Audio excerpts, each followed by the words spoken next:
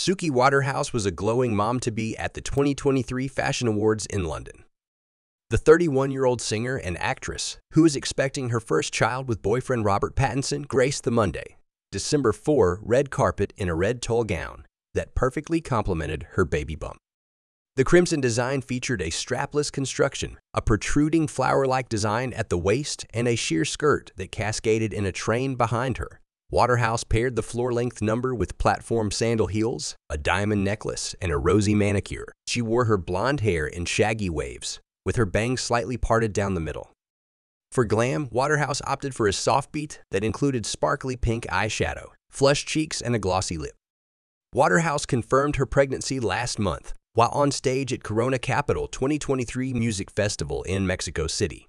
I thought I'd wear something sparkly today because I thought it might distract you from something else that's going on, she said while gesturing at her baby bump, per social media footage. I'm not sure if it's working. The short, sparkly dress hugged her growing midsection. Waterhouse previously sparked pregnancy speculation while out and about with Pattinson, 37, in a crop top. Following Waterhouse's exciting announcement, a source exclusively told Us Weekly that she and Pattinson had recently decided it was finally the right time to expand their family. The insider explained that the pair moved in together earlier this year and hid this pregnancy well from friends before they were ready to reveal the happy news.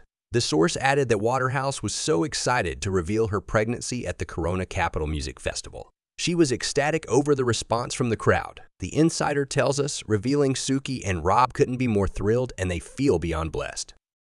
Us confirmed the pair's relationship in August 2018, with a source exclusively sharing that the two had been dating for months. The Twilight star and the model had known each other and been around each other for a long time, the insider added. In April 2019, Pattinson made his first public comments about his relationship with Waterhouse, expressing his desire to keep their romance as private as possible. Do I have to talk about her? He reluctantly said in an interview with the Sunday Times, adding that he prefers to keep his love life out of the spotlight, because if you let people in, it devalues what love is.